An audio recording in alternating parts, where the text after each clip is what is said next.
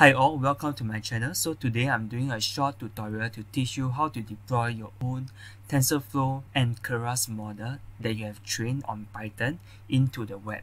So this is so cool because as you know TensorFlow and Keras is proprietary to Python. So being able to convert it to JavaScript and deploy it on the web is so fascinating. So allow me to demonstrate how it works. So I actually deploy it into this link over here.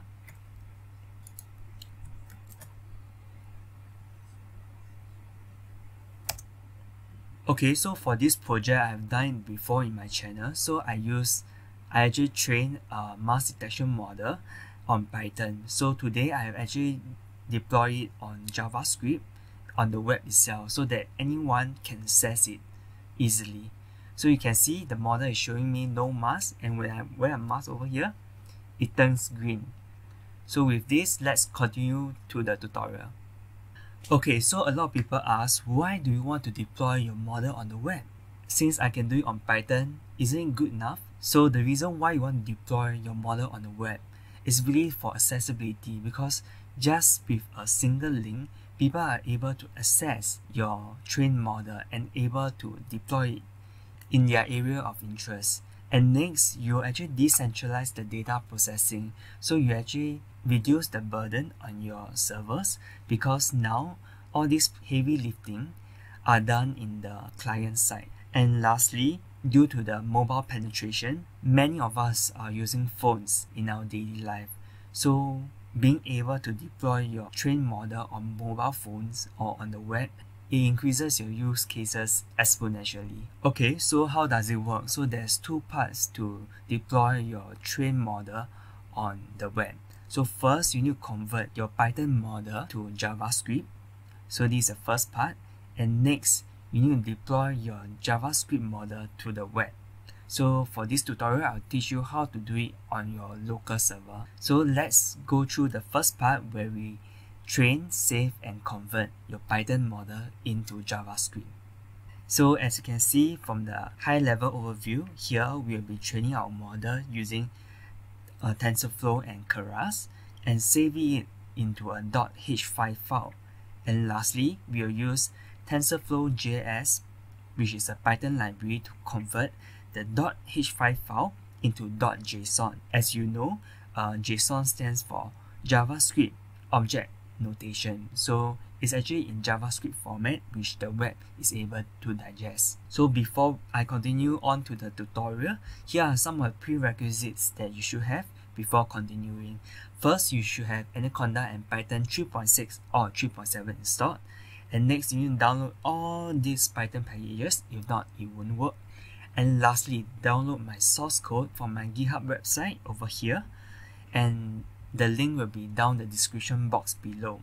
Okay, first, um, let's go to my GitHub repository and download the code. So it's very simple to download. Just go to this website and click download zip file. Okay, so once you have done downloading, um, go to the mask detection folder and go to this train mask detector.py file.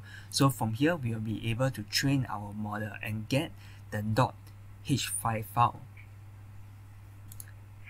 So over here, you'll be able to see the train mask detector. So you just open up your favorite IDE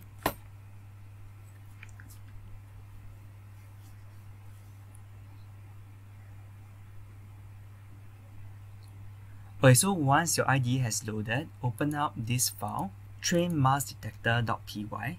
So for this one, uh, you'll be able to train your own mask detection model.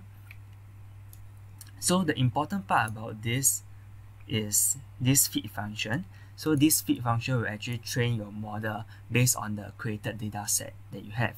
So you just need to click run and it will train itself. So it will take some time to train. It took me about 2 hours. Okay, so once it's completed, you actually save your model into a .h5 file. So over here, you'll be able to see where the model is saved to. So for myself, the model is saved into model mask underscore model dot h5. So it's over here. So that's great.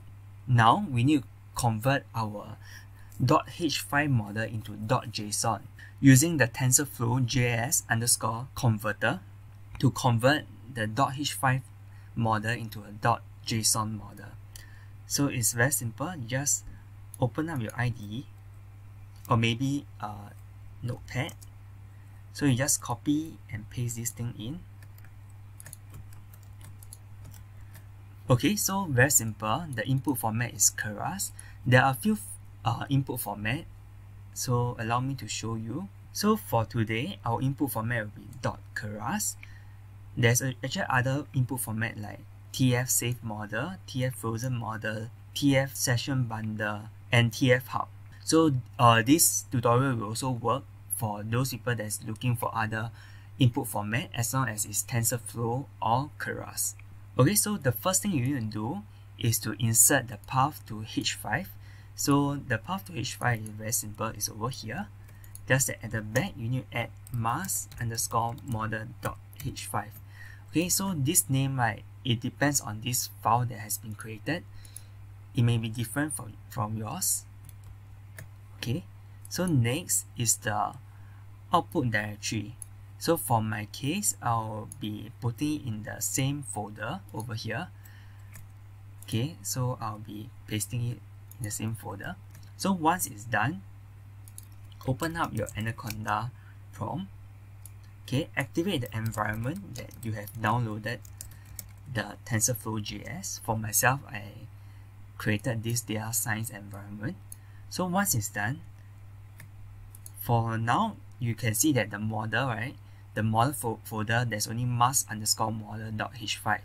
So after I run this code, so after running this code, you'll be able to see this model.json appearing. Okay, so good job, you have finally converted your model from Python to JSON, which is digestible for web application.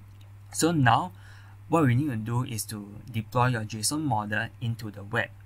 So how to do this?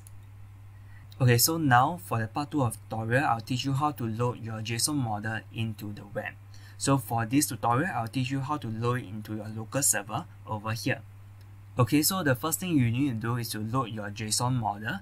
So how to do this is very simple. Just go back to your model.json. Just copy this and go to web demo, go to static and go model. So for here, you see this model.json, replace it with your own train one. So just replace in destination. So once it's replaced, it's good to go. Now, if you go back to the slide, you need to go back to the index.html. So you open up your index.html. The first thing you need to import is the TensorFlow model. So these two lines very important. Next, you need to load your model. So it's all the way down over here under the setup page. So for here, I will load my model, my mask detection model. Okay, so it's very simple. So I just follow my path directory It's in static models and model.json. So it's correct. It's under static models and model.json. So you can see, other than loading this model, I actually loaded another model called Blaze Face. So this is actually a face detection model. So actually, I need two models to allow this application to work properly. So if you want to know more, you can go back to my mask detection model video in my channel. Okay, so with this, now it's time to start our own local server. So what you need to do is to open up your IDE again, open up this folder inside web demo. So you will see web underscore main.py. So open this up and press start file. Okay, so once you have started, you'll be able to see the mask detection model being loaded on your web. So you can see it's actually working. So now I'm not wearing a mask. Now I'm wearing mask. So you can see the difference. Okay, so for this tutorial, you have successfully deployed your model on your local server.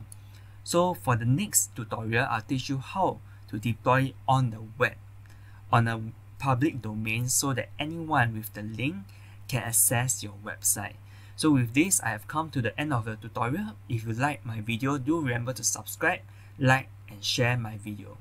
Thank you for your time.